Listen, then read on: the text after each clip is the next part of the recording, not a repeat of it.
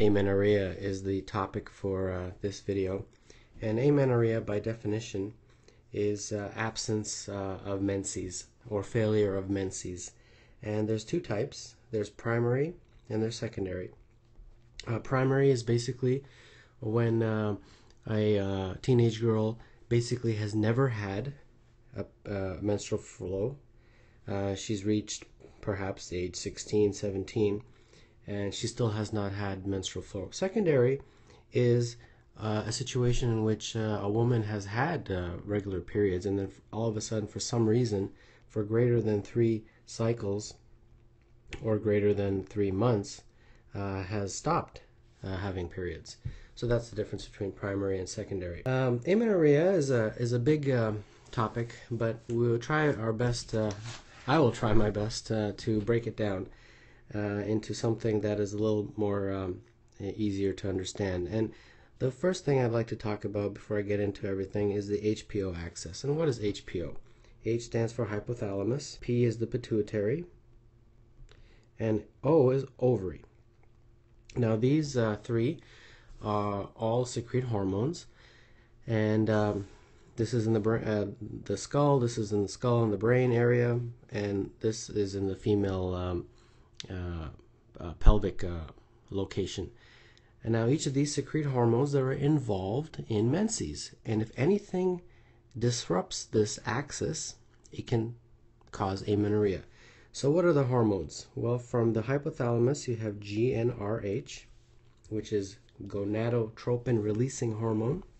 From the pituitary, you have FSH, which is follicle stimulating hormone, and then from the ovary you have estrogen.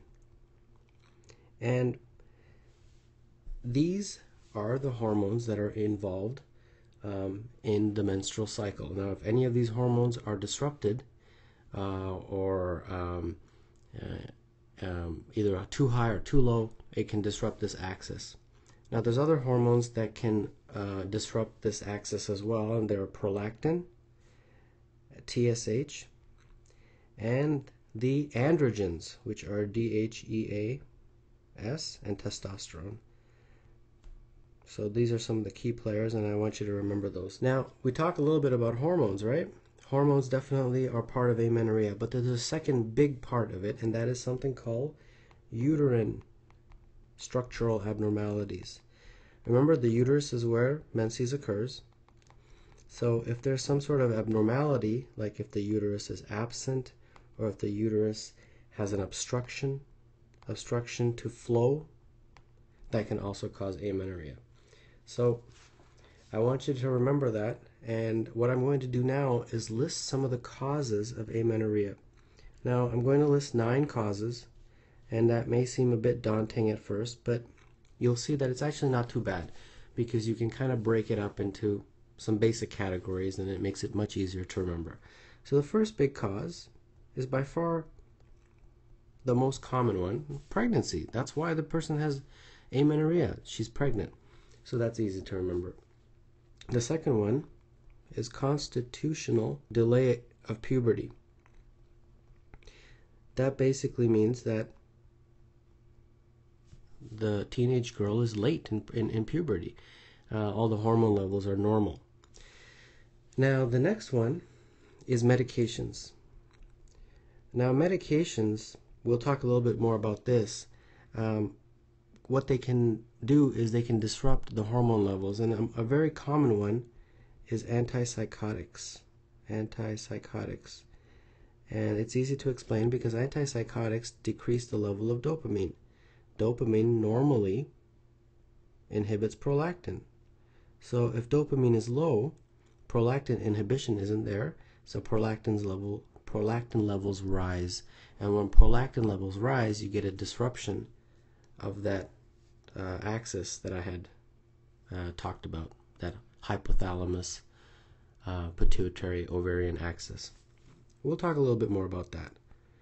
All right. I might need a little bit more space here, so uh, I, I think I can fit it all in. All right, let's keep going here. Next, we have something called PCOS, polycystic ovarian syndrome.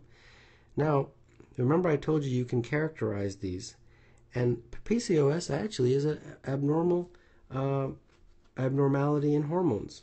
That's um, and in particular, what we're talking about is the hormones FSH and LH. So even though it is its own unique uh, entity, it really can be grouped in uh, a hormonal disorder. All right, what's after PCOS? Pituitary dysfunction. Pituitary dysfunction. Now, the pituitary gland secretes a lot of hormones. So, those hormones can disrupt this axis. Now, the hormones that we're really talking about most of the time are prolactin and uh, the pituitary gland what can happen sometimes you can get these microadenomas little tumors adenomas and these tumors can cause an excess in prolactin and that can disrupt that HPO axis and cause amenorrhea Next one is ovarian failure. If you don't have a properly functioning ovary, you can uh, have a uh, much uh, decreased level of estrogen, and that can also disrupt that axis and cause amenorrhea. The next one, and we touched a little bit about this earlier, are um, abnormalities in structure of the uterus. The uterus is absent or there might even be an obstruction. And the last two are increased level of androgens, remember DHEA and testosterone. And the very last one I want to talk about is thyroid disorders. So, at first it may seem like a very long list, but think about it. Well, pregnancy is a very easy one to remember. Constitutional delay of puberty is easy. Medications may seem like a different category, but really it's causing amenorrhea because of disrupting hormone levels. So that's hormone, H for hormones. PCOS, polycystic ovarian syndrome, is a hormone related issue. Pituitary dysfunction, also hormones. Ovarian uh, failure, also hormones because of the estrogen. Uh, androgen and thyroid disorders also hormones. And then this is the one uh, cause of amenorrhea that is related to structural abnormalities. Either the uterus is absent, or the uterus is abnormal, or there's some sort of blockage or obstruction in the uterus. So it may seem like a very daunting list to remember, but it's actually not so bad. All right. Now, unlike most other disorders, um, you know, most other disorders, we start off by symptoms. But the symptoms for amenorrhea, well, is amenorrhea. The woman or teenage girl doesn't have any periods. Um, either has never had them or has had them, but all of a sudden has stopped. But to narrow this down, you know, you want to get to a final answer, you look at other symptoms. This is the main symptom, but what are some of the other symptoms? And I don't want to go into too exhaustive detail but I want to give you a little bit of a sort of a introduction as to how to approach this. So for example, for example, if a person comes in and in addition to amenorrhea, she has galactorrhea, she has um, headaches, and she has visual field defects, you probably will most likely think of prolactin. And you also will most likely think that this is a pituitary disorder. So that will lead you, these symptoms will lead you to uh, figuring out what might be the cause. Now let's say the person comes in and her in addition to amenorrhea her symptoms are fatigue and she feels cold and she's gained weight. Well this might lead you to think of a thyroid disorder. So the TSH might might be something you want to check. Now, I'll give you one more. Let's say she comes in, in addition to amenorrhea, she has acne, she has a deep voice, uh, she's got facial hair. Well, this might lead you to think of androgens. She might have an excess in androgens, and that's causing the amenorrhea. So that's what I wanted to touch on in the symptoms. Is I, I'm not listing every single symptom that you know could possibly happen uh, because that would take too long. But what I want you to kind of understand is how to start thinking about these things. Well, for the diagnosis, what I really wanted to do is draw um, two um, uh, flowcharts. And the flowcharts really, I'll try my best to illustrate how to approach this. And the first flowchart I'd like to draw is primary, about primary amenorrhea. So primary amenorrhea, right there. So primary amenorrhea, how do you approach it? Well, the very first thing you look at, and remember, what is primary amenorrhea? It's a, a situation in which a girl has never had a period, but she's past puberty, you know, maybe 16, 17. The very first thing you look at is secondary sexual characteristics. Are they present? Yes or no? And what do I mean by this? Well, you're looking at things like breast development, pubic hair, the type of things that would um, be present in a girl that's past puberty. If the answer is yes, then you do a pregnancy test. And the pregnancy test is the beta HCG, if I can spell it, beta HCG. And if that beta HCG is positive, well, there you have your answer. She's pregnant. If the beta HCG is negative, then what you do is a pelvic ultrasound. And the pelvic ultrasound is what shows you the uterine abnormalities. The uterus could be absent, or the uterus could be abnormal, or there could be a blockage of some kind in the uterus that's preventing menstruation. So that's how you approach this part of the flowchart. Now, if the sexual secondary sexual characteristics are not there, then what do you do? Well, then you check a hormone called FSH, follicle stimulating hormone. And if the FSH is high, meaning it's greater than 20, then that will lead you to believe that there's some sort of ovarian failure. Why? Well, recall the ovaries secrete estrogen, and the estrogen in a system of negative feedback will cause FSH. Actually, the arrow probably should go to FSH. Will cause FSH levels to, to go down through a, a system of negative feedback. If ovarian failure is the is present, estrogen levels are low, and therefore there's no negative feedback on the FSH. Therefore, the FSH levels are high. If the FSH level is normal, well, then what do you do? Well, then you check for other hormones, and those three hormones are TSH, thyroid stimulating hormone, prolactin, and the androgens, which are DHEA and testosterone. So that's a way of approaching primary amenorrhea. Now let's draw the let's draw the diagram for secondary amenorrhea. Now remember secondary amenorrhea is a situation in which a woman has had regular uh, menses and then all of a sudden she stopped for three months or three cycles. So what do you do? The very first thing in this one is the pregnancy test. Very first thing in the in the flow chart. If it's positive, you have your answer. She's pregnant.